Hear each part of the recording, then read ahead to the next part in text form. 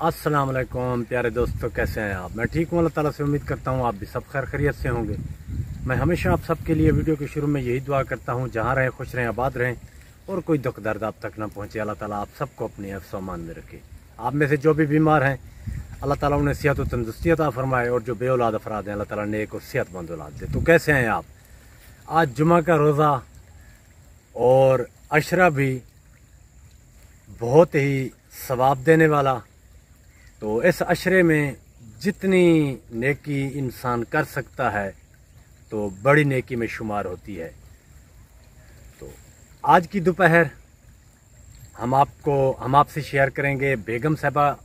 बोल रही हैं? बहुत मसरूफ हूँ। हवा भी ठंडी ठंडी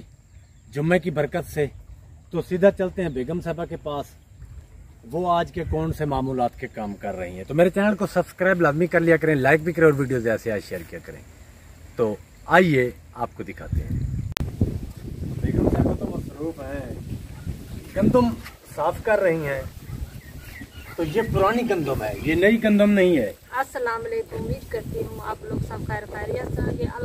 शायद नहीं बैठ कर मैं बहुत अच्छा आज बेगम साहब बोल रही है बहुत मसरूफ हूँ हवा भी ठंडी ठंडी चल रही है।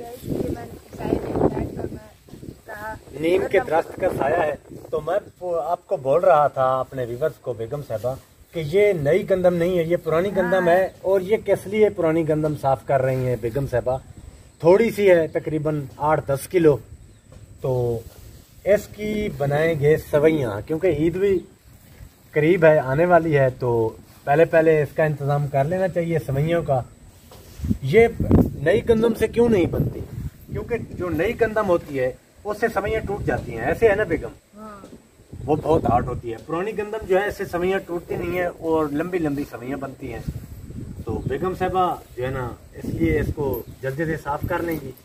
कल इंशाल्लाह इसको, इसका आटा बनाएँगे और आगे जैसे भी टाइम मिलेगा तो सवैयाँ बनाएँगे। तो बेगम साहबा, ये जल्दी से इसको जो है ना, तुम साफ़ करके इसको डालो। सूरज भी गर्म हो रहा है। तो मैं जल्दी से जानवरों को पानी पिला के अंदर बाँध दूँ।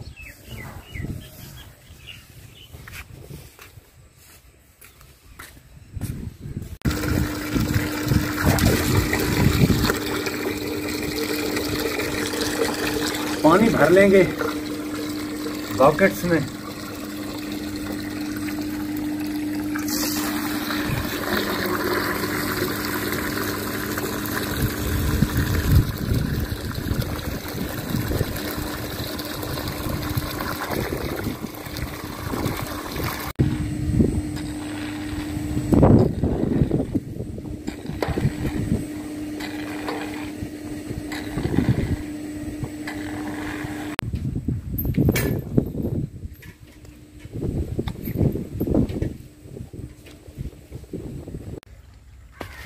ये देखिए खजूर, माशाल्लाह से इस साल खजूर जो है, वो काफ़ी बड़ी बड़ी है, ये देखिए दाने।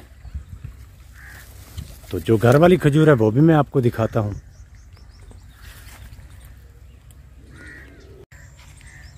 ये देखिए, मौसमी भी लग चुके हैं, ये देखिए, माशाल्लाह से। ऊपर भी नज़र आ रहे हैं।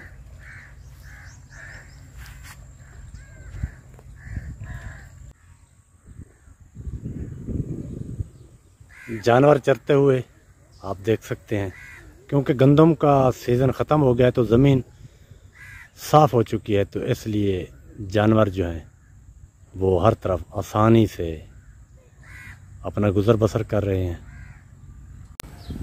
ये लो जी ये है घर वाली खजूर। ये देखिए। माशाल्लाह से ये भी काफ़ी तादाद में लगी हुई है। और ये साथ वाली खजूर भी। ये देखिए, ये भी काफ़ी तादाद में लगी हुई है। ये किचन के ऊपर वो दोनों खजूर भी लगी हुई है। जो चीज़ मैं आपको दिखाने के लिए आया हूँ, ये देखिए। ये क्या है? ये नीम का फूल, जिसे बुरा बोलते हैं। और ये इतनी तादाद में लगा हुआ है, हर तरफ़, ये देखिए, इसकी खुशबू भी बहुत ज़्यादा है। पूरी रात इसकी खुशबू सहन में रहती है, क्योंकि ये नीचे हमारा सहन। तो बहुत ही माशाल्लाह से खूबसूरत नज़र आ रहा है। बेगम साहबा भी थक चुकी हैं, तकरीबन 11 बजने वाले हैं। तो सब काम हमने खत्म कर लिए हैं। तो बहुत से मेरे दोस्तों ने बोला था, अस्कर भाई, आप अपनी खजूर दिखाएँ। आपके सहन में दरख्त है या नहीं? तो मैंने आपको नीम का दरख्त भी दिखाया, बेरी का दरख्त भी है मेरे सहन में, और चार पाँच पौधे खजूर के भी हैं एक फ्रंट में है।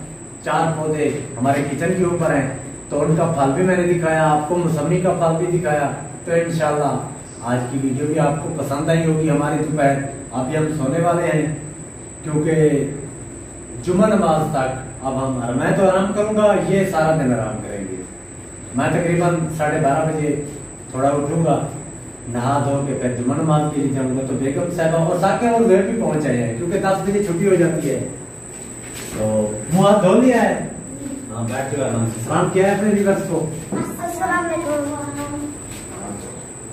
साके बहुत ज़ोर को तो रोजा नहीं है क्योंकि अभी भी स्कूल से आए हैं तो आज की दोपहर इंशाल्लाह हमारी दोपहर ऐसे ही होती है विलेज में तो बेगम साहब आप भी आराम कर लें साकिब और जोएब तुम भी आराम कर लो